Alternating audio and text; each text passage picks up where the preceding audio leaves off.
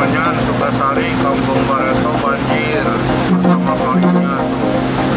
Pertama kalinya kemudian banjir. Hujan amat saat saya dari mana ya pada itu semua